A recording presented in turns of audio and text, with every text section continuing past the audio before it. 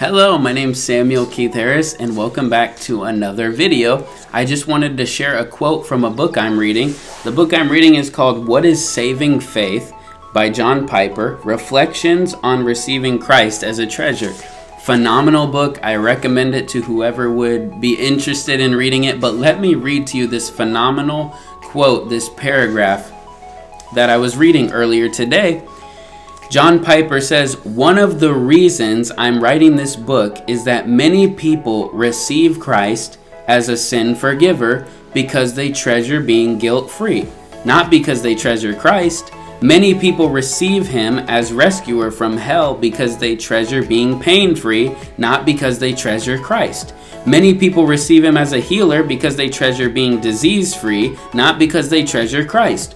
They receive him as a protector because they treasure being safe, not because they treasure Christ.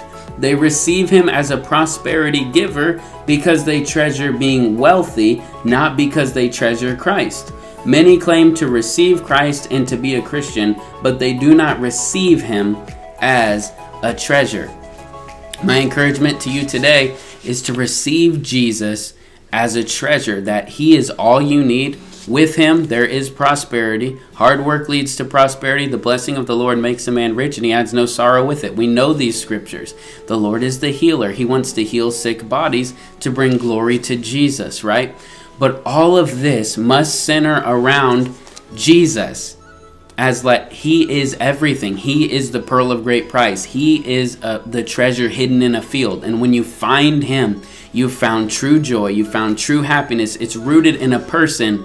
And yes, with the kingdom comes healing and, and, and these other blessings, right? But He must be all to us. He must be all, and our joy should be found in loving Jesus and seeing Him rightly through the Word and making Him known. So I pray that you would see Jesus as the peak of living.